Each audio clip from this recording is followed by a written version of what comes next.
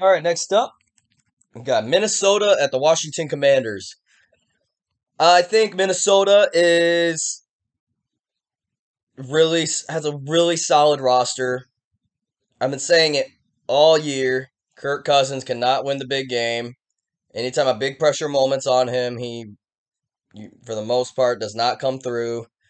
Uh, I love the quarterback change they made at with the Commanders. They, I think Taylor Heinicke's an upgrade from Carson Wentz. I thought that from the beginning. I have no idea why they even traded for Wentz after the year he had last year, but they did it, and uh, I think the Commanders are just a are just uh, a better team with Heinicke in there. They seem like their offense functions a lot smoother.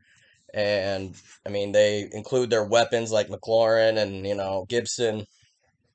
Excuse me, and uh, yeah. So I, I just I think Minnesota has kind of skated by this year with like, I mean, the one tough game they had this year was against Philly, and they got smoked. Um, every other game was, I mean, not that tough of a matchup. They've looked good at moments. They've looked stagnant at moments. I love Dalvin Cook. I love Justin Jefferson. Big Thielen fan. They just added TJ Hockenson. I think that's going to add another element to that offense. But I got the Washington Commanders.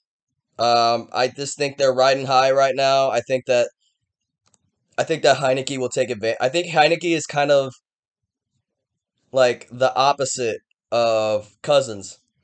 You know, doesn't look that good on film.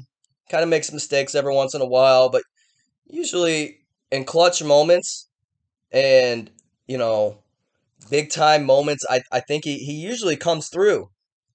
I think the uh, the Washington's going to win twenty seven to twenty four.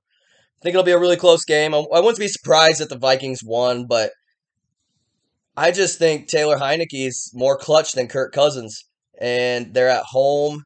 They're riding high right now. They all got confidence. Like I said, McLaurin looks really good.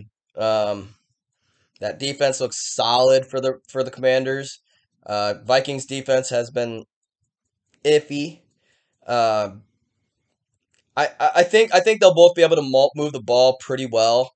I just think that Heinicke will have a clutch moment at the end of the game, and given that this is the Kirk Cousins Bowl, um, given the given the fact that he's kind of chokes in big moments. This is kind of a big moment for him playing in Washington, where he spent the first like four years of his career, or five years. Uh, so, Washington Commanders 27 24 Minnesota.